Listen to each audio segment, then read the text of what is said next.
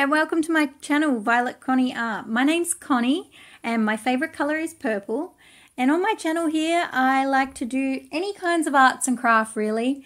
I mainly do watercolours and like painting animals, but I also like to do fantasy creatures. I like to try out doing more realistic styles as well as doing more cartoony styles and really just enjoy creating things with my hands. You'll also find that I do some unboxing, like Scrawlrbox or um, unpacking of new items that I might get. I make my own paints, which I'm using here in this video, uh, my own watercolors they are. And I like to do art with my son also, so he joins in and participates in some of the videos on this channel. But yeah, all up, I just like to have fun on this channel, and if you'd like to join in, Please subscribe. I would love to have you around.